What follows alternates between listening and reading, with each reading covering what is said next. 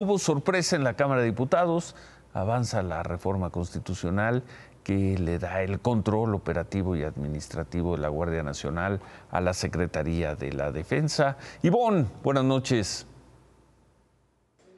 Ciro, buenas noches. Hace tres horas quedó ya aprobado el dictamen de la reforma constitucional de Guardia Nacional con 363 votos a favor de Morena, Partido Verde y PT. Es una reforma que le da mando militar a la Guardia Nacional y atribuciones de Ministerio Público. Durante ocho horas hubo argumentos en pro y en contra. Así la defendieron. Nosotros sí confiamos en nuestras Fuerzas Armadas.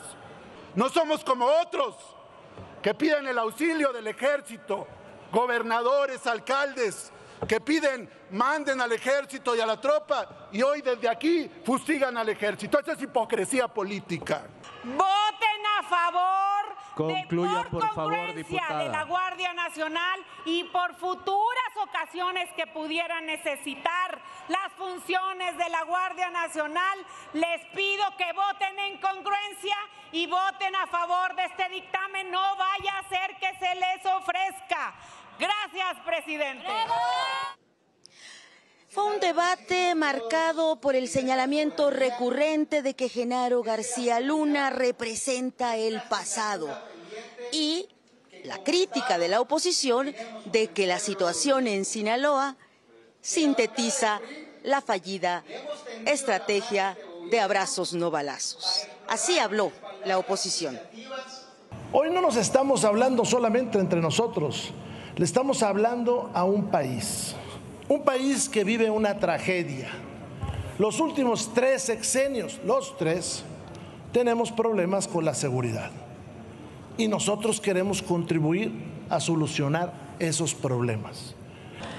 Posiciono en contra de esta reforma, uno, porque no resuelve el problema de la violencia y la inseguridad en nuestro país.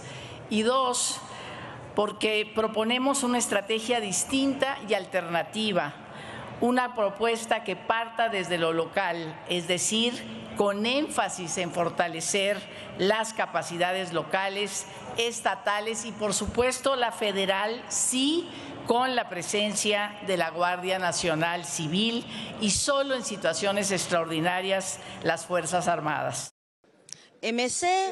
PRI y PAN solo reunieron 133 votos. Sin embargo, Ciro se puso rudo el debate, al grado que Ricardo Monreal, jefe de la mayoría de Morena, pidió a la oposición bajarle a los excesos de sus señalamientos y ofensas, dijo, contra el presidente de la República y la presidenta electa, pues ante las críticas de Acción Nacional, que citando la carta de Genaro García Luna, decían que había que también atender los señalamientos del exfuncionario a las implicaciones que este gobierno tendría con actividades delictivas.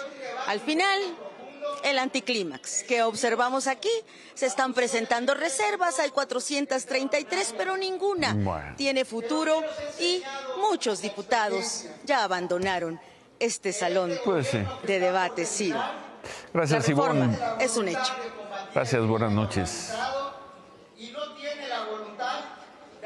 Gracias, gracias a Ivonne. No hay sorpresa, sí, difícilmente habrá una sorpresa en los próximos tres años en la Cámara de Diputados.